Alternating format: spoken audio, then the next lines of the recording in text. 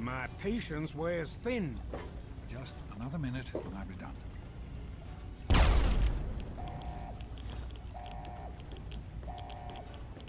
Run. Run! Here we are, where it all began. You remember your mother's favorite passage? Revelation 21:6.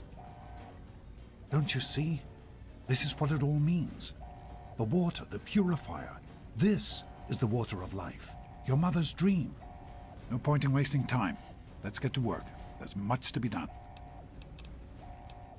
Be careful, my son.